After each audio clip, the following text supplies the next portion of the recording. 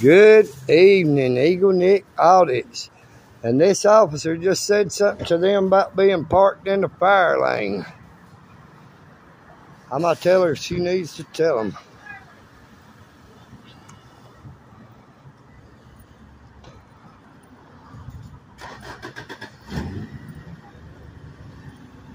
Good job, ma'am. Number 78.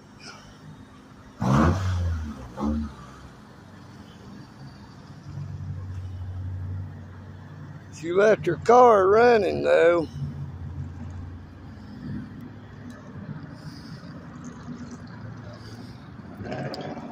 See what I said about parking in the fire lane?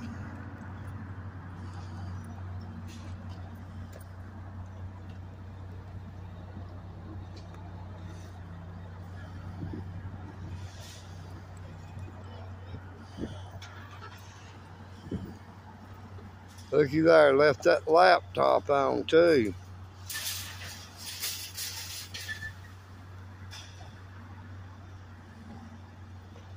Left her running. Number 78. But she did get on to him about parking in that fire lane. Boy, her car looks a little bit rough there. Look, see, they need a sign right here saying no parking here because, you know, there's a fire hydrant.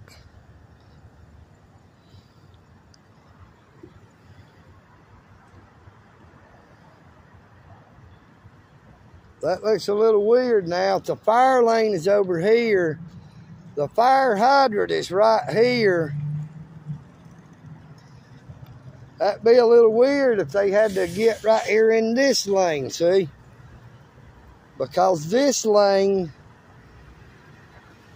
will be where the hose would have to come across.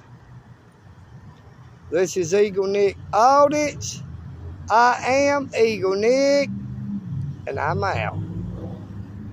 Well, I'm gonna walk back up here and let see where that police officer went. Let's see if we can see how long she's in the store, leaving her car running.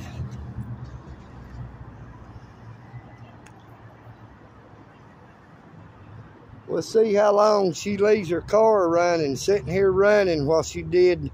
I didn't even really see what she was carrying inside to the Walmart.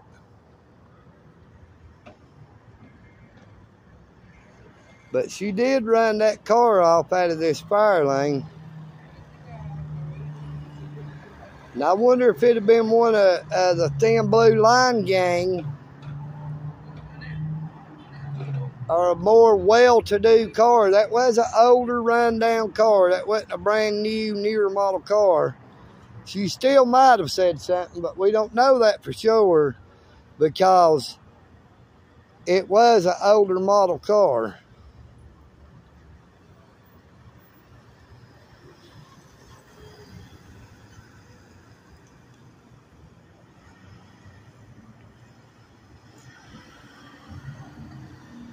If it'd been something like that, she might not have said nothing, but she still might have.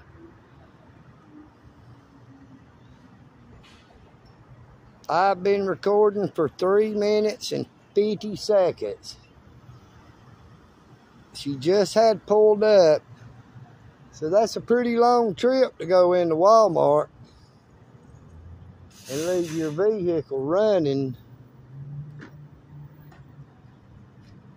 I would have tried the door to see if it's unlocked, but I'm not a thief. But a thief could.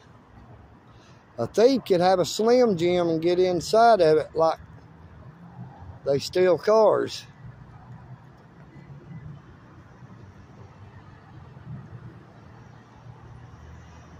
Coming up on four and a half minutes.